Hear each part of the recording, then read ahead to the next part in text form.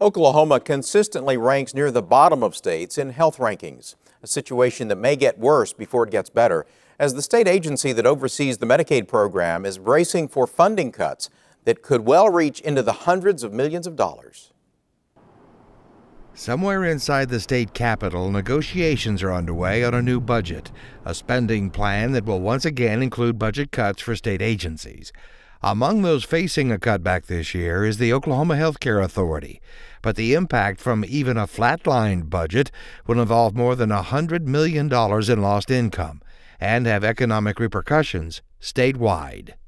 Physicians and hospitals and pharmacists and nursing homes and everybody in the healthcare sector, you know, we're buying services out there, durable medical equipment all across the state. Nico Gomez is the CEO of the Oklahoma Healthcare Authority. He began crunching his budget numbers and preparing for cutbacks in services and payments to healthcare providers after it appeared a cutback from the state was likely. If we were cut 5% over what we received last year, uh, we're looking at a, a hole of uh, over $103 million uh, just in provider rate cuts alone. And that's a rate cut of about 12 to 14.5%. And that's a worst case scenario. The best they can expect right now is a budget that is flatlined.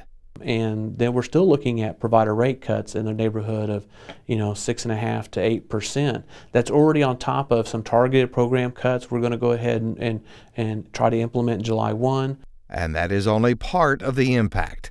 The agency has already lost $50 million in federal funding because our economy improved, 13.6 million more from reduced tobacco sales, and any additional cut in state funds impacts federal matching money. When we're talking about uh, cutting state dollars, we're also losing uh, the federal matching dollars. So while we're trying to save you know, 100 to 150 million dollars out of the program, uh, you know, depending on how we do that, we could end up losing a total of 400 to 450 million dollars out of the economy. David Whitaker is president and CEO of Norman Regional Health System. He is working up a budget for his facilities right now, projecting a possible cut in Medicaid funding of 2.5 percent. It's about $2.6 million reduction in payments to us, not charges, but actually reimbursements uh, to the hospital. As things play out uh, at the Capitol, we'll start making adjustments uh, to our budget in terms of growth areas. I think two areas that come to my mind immediately is a lot of our community wellness programs that we offer up. Those are cutbacks to preventative health care programs, which are much more inexpensive than a hospital visit. There's no such thing as an easy cut anymore. Uh, we're, we're the, the low-hanging fruit have all been picked, and now we're, you know, we're, we're, we're into the bark of the tree, so to speak. The second area that Whitaker says would be immediately impacted by state budget cuts is physician recruitment. The state is woefully short of primary care physicians, and that's been a real focus of our physician recruitment efforts over the past couple of years, and that that's a potential area where we might see cuts having to come across. Oklahoma currently ranks 49th nationwide in the number of primary care physicians per capita, and just to be average, the state needs 1,361 more doctors, especially in rural areas.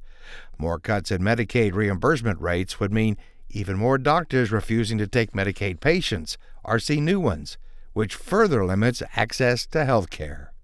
Uh, Medicaid's a difficult enough challenge as it is. There's probably less than five physicians in Cleveland County, Cleveland County, that will take a new Medicaid patient now.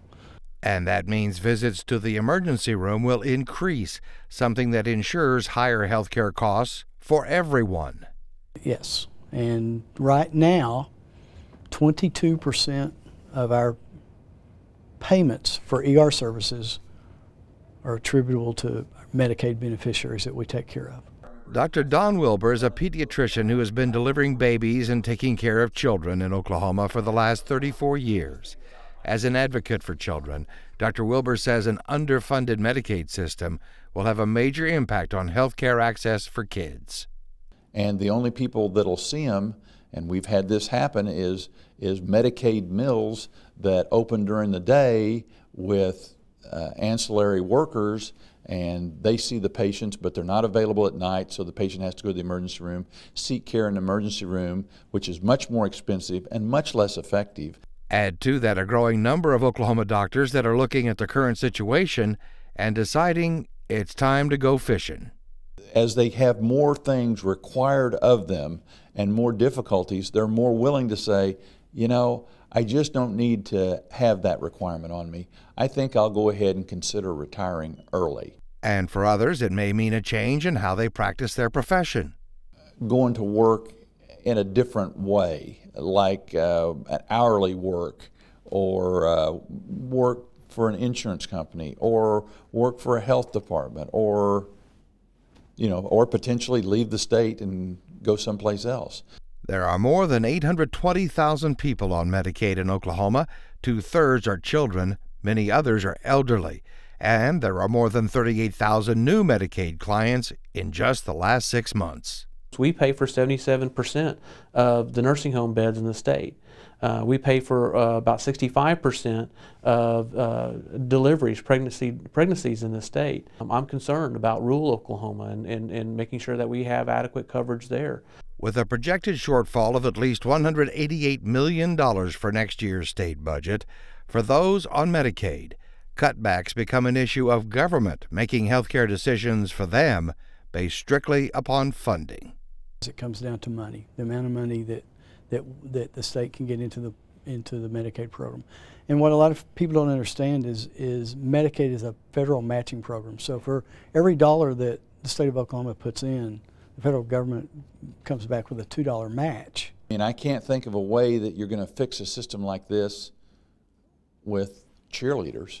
I mean, with people coming out saying, rah, rah, you know, we really want to be good. I mean, that helps, but I really think that, as with most things, the way you fix it is setting it as a financial priority and doing it. An announcement on a budget agreement from negotiators at the state capitol is only days away.